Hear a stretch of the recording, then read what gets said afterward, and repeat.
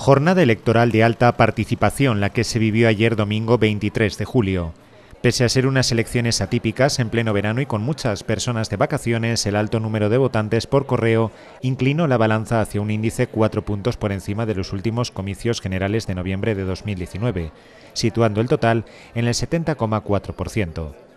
unos votantes que eligieron al Partido Popular como la primera fuerza política del país con 136 escaños, 47 más que en 2019, seguido del Partido Socialista con 122 escaños y una subida de 2. Como tercera fuerza se situó Vox con 33 escaños, perdiendo 19 con respecto a los últimos comicios, y en cuarto lugar quedó Sumar con 31 unos resultados muy ajustados para los bloques de izquierda y derecha que eran necesarios los pactos para gobernar y dejan la puerta abierta a una posible repetición electoral si no se alcanzaran acuerdos. Una tendencia nacional que también se mantuvo en los resultados locales, en tanto que el Partido Popular Criptanense se alzaba vencedor de los comicios con 3.456 votos por delante del Partido Socialista que se hacía con 2.658 votos.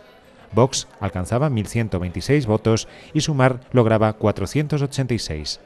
Todo gracias al 79,47% de los electores que ejercieron su derecho a voto, incrementándose en cuatro puntos con respecto a los comicios de 2019.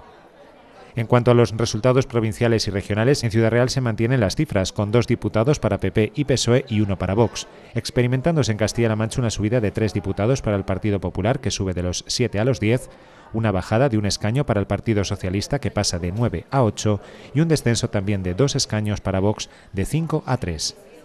Finalmente, en lo que se refiere al Senado, el Partido Popular también se hizo con la victoria, con 120 senadores frente a los 73 que alcanzaba el PSOE.